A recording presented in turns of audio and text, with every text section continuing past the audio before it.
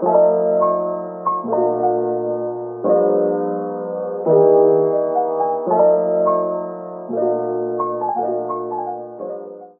everyone, welcome to my channel.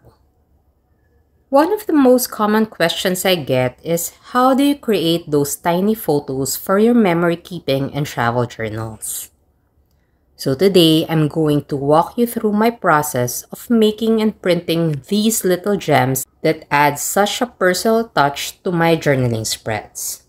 Let's dive right in.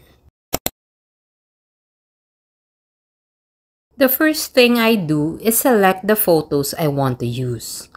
I usually go for a mix of landscapes, landmarks, food shots, and personal moments.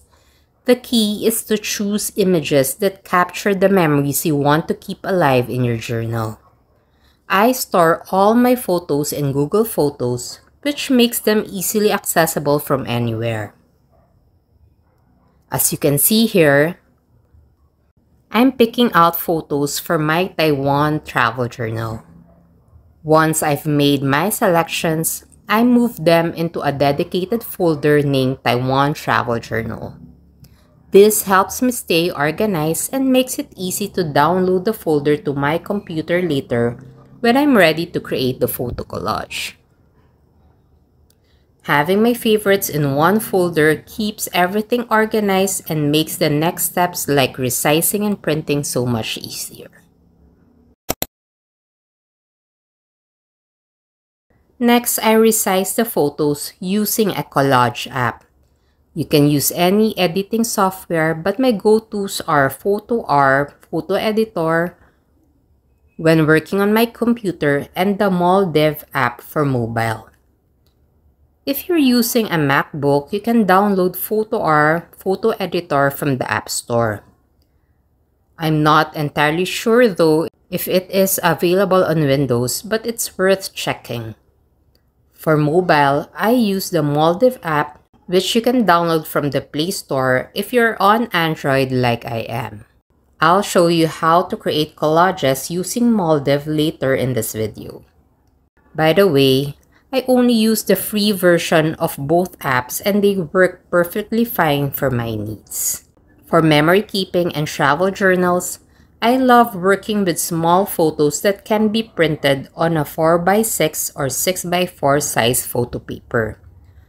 A quick tip, creating a collage layout or placing multiple photos on one page is a great way to save paper when printing. Now let me show you how easy it is. Here's how I do it using the Fotor photo editor on my computer. First, I select the 6 by 4 ratio. Then choose a grid layout. For this example, let's pick a 4 grid layout. Next, I drag and drop my photos into the grid. Then save the collage to my computer. This is what it looks like. This layout is ideal for landscape-oriented photos. When you use 4 grids, each photo will be approximately 2 by 3 inches in size. Now let me show you how it looks when you use the 4 by 6 ratio.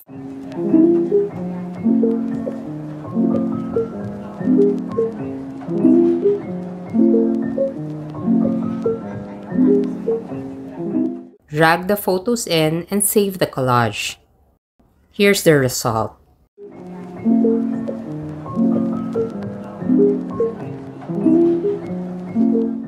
Now let's create even smaller photos, the kind you often see in my memory keeping journal pages. These photos are about 1.4 by 2 inches in size. To create these, let's use Moldiv app on my phone. Here's how to do it. First, open Moldiv and select Collage. Choose the 9 grid frame and adjust the ratio to 2 by 3 which corresponds to the 4 by 6 print size.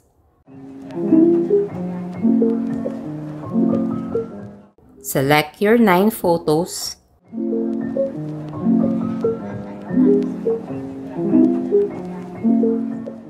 Save and you're done.